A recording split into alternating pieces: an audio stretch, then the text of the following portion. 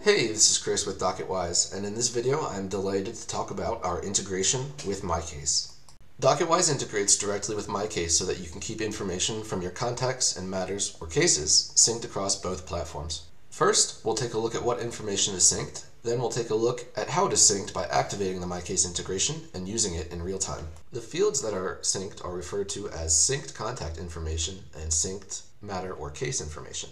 Now, let's move on to activating the integration. When initially activating the integration, the integration will look for matching contacts. To be considered a match, it must have the same first name, last name, and email. Matching contacts are synced, and non-matching contacts from MyCase are created in DocketWise, and non-matching contacts from DocketWise are ignored. Now we'll go ahead and activate the integration. Here under Settings, we'll click on Integrations. Here we'll click on Activate MyCase and Allow Permissions. And just like that, we have activated the integration. Once the integration has been activated, updates from DocketWise will be reflected in MyCase, and updates from MyCase will be reflected in DocketWise. Now, when I make an update in DocketWise, that change will be synced and reflected immediately in MyCase. And the updates made in MyCase will be synced to DocketWise overnight, or as soon as I select the option to sync MyCase from within DocketWise.